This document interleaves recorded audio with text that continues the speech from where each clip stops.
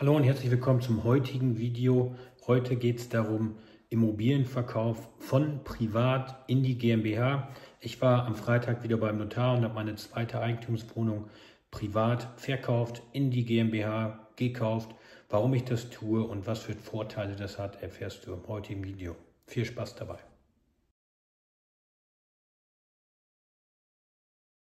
Ja, wie im Intro gerade angekündigt, heute geht es darum, Immobilien GmbH. Ich habe meine vor ungefähr zwei Jahren gegründet und habe meine allererste Wohnung nach zehn Jahren steuerfrei in die Immobilien GmbH verkauft. Jetzt ist es so, dass die zweite Wohnung über zehn Jahre in meinem Besitz ist. Seit Ende Februar sind die zehn Jahre um. Die habe ich damals im gleichen Haus gekauft, komplett renoviert und ja, seitdem gut und ordentlich vermietet. Damals hatte ich ja noch nicht so viel Ahnung von Immobilien und habe die Immobilie damals berechnet, habe gesagt, komm, drei Zimmer, drei Studenten da rein, 700 Euro, 750 Euro Miete, hatte ich mal so gerechnet und dann habe ich gesagt, ja, dann kann ich ja 650 abzahlen. Habe ich einen kleinen Puffer. Ähm, habe also über die Jahre da sehr, sehr viel abgezahlt, sodass gerade mal 32.000 Euro übrig geblieben sind. Ähm, die Immobilie, je nachdem, wie man sie an dem Standort bewertet, ist natürlich mal die Frage, ob man den Märchenpreisen von Immobilien Scout glaubt, ob man eine Ertragswertberechnung und Bewertung macht.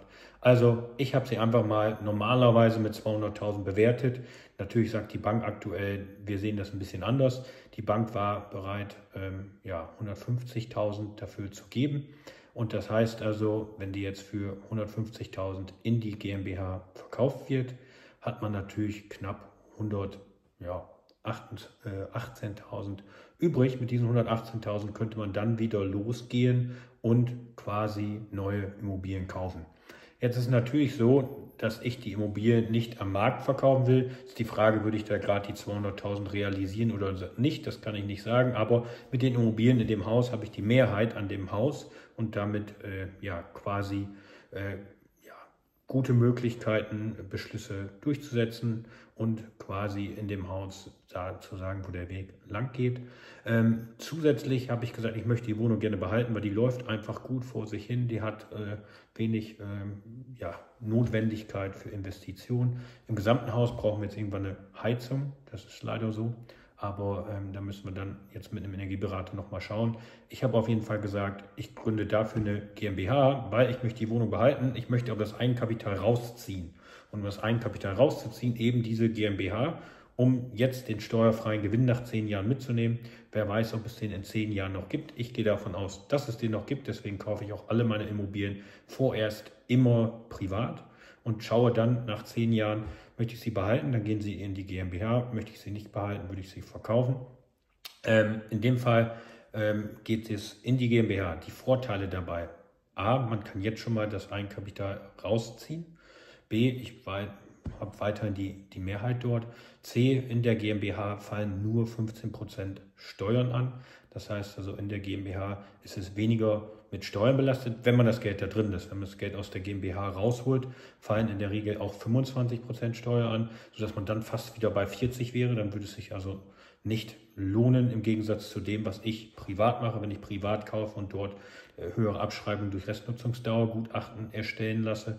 Trotzdem sage ich, okay, dort bleibt die Immobilie gut. Und jetzt natürlich noch die Frage, weil die GmbH natürlich eine juristisch eigene Person ist und ich, wenn ich privat in die GmbH verkaufe, ja, normalerweise Grunderwerbsteuer zahlen muss. Das heißt also, auf den Kaufpreis muss man dann eine Grunderwerbsteuer zahlen von äh, 5% bei uns hier in Niedersachsen wären dementsprechend bei 150.000 irgendwie 7.500. Wenn man sie mit 200.000 bewertet, sogar 10.000. Die möchte man in der Regel natürlich vermeiden. Um das zu vermeiden, gibt es eine besondere Vorgehensweise. Das heißt, ich äh, habe mir das nicht selber ausgedacht. Ich habe das, glaube ich, irgendwo bei den Jungs von Immocation gelesen, dass man dort mit einem ja, Betrag, der größer sein sollte als ja, quasi eine Schenkung. Man sagt ja immer, es sollte ungefähr bei 10% liegen. Es gab irgendwie Urteile mit 9,1%, die schon durchgegangen sind. Das heißt, man reduziert den Betrag dort auf mindestens 10%, um auf der sicheren Seite zu sein.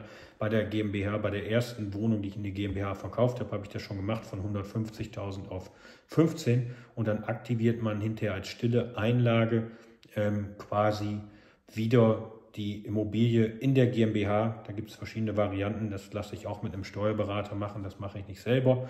Und dann kann man das äh, ja entweder A, erstmal, wenn das Geld eher braucht, über ein ähm, Darlehen sich wieder raus und ansonsten muss man, glaube ich, ein Jahr mit der Auszahlung warten. Da gibt es verschiedene Varianten und das heißt für mich, dass ich die Immobilie jetzt für einen geringeren Wert von 20.000 verkauft habe und darauf dann eben nur 1.000 Euro Grunderwerbsteuer zahle und nicht 10.000. Das heißt, man kann die Notarkosten und die Grunderwerbsteuer dort um ca. 90 Prozent reduzieren und hat dann trotzdem den höheren Wert hinterher, den man wieder aus der GmbH ziehen kann.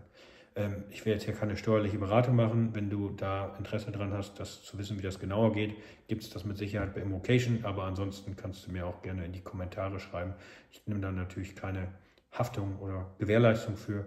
Aber bei mir ist es jetzt so, dass es da auf jeden Fall noch läuft. Das dauert auch ein wenig, bis das dann alles immer umgesetzt ist. Ähm, die Immobilie ist jetzt, wie gesagt, äh, Freitag verkauft worden und soll jetzt Mitte Mai dann an die GmbH übertragen werden, wenn die alle schnell genug mit der Eintragung sind. Das dauert nämlich aktuell wirklich ewig. Mein Haus, was ich zum 1. Januar dieses Jahr gekauft habe, ist immer noch nicht eingetragen. Das heißt also, äh, für die Mieter ist das schwierig, weil ich kann denen gerade gar keine neuer Mieter kommt und äh, das unterschrieben haben will, muss jetzt eigentlich der alte Besitzer noch die ähm, Mieterbescheinigung ausfüllen. Und jetzt warten wir wirklich jeden Tag drauf, dass das endlich durchgeführt wird. Äh, das gleiche gilt dann auch für die ähm, Versicherung. Das heißt, auch die Versicherung muss äh, aktuell noch weiter auf den eigenen alten Eigentümer laufen. Ich zahle die dann einfach, aber so sieht es da aktuell aus. Ja, das ist das, was mich hier aktuell beschäftigt. Meine Wohnung auf Madeira, mein erstes Fix-and-Flip-Objekt, ist jetzt seit ähm, letzte Woche auch in der Vermietung. Das heißt, ich habe mich da entschieden, ähm, der Vermietung zu machen, bis das Ganze dann auch wirklich zum Verkauf kommt. Ähm, das heißt, habe mich da kurzfristig geeinigt, äh, mit einem Mieter zu sagen, okay, innerhalb von einem Monat musst du ausziehen, wenn ich einen Käufer gefunden habe. Aktuell war bisher erst eine Besichtigung. Ich muss mal sehen, ob ich das noch ein bisschen mehr bewerben kann.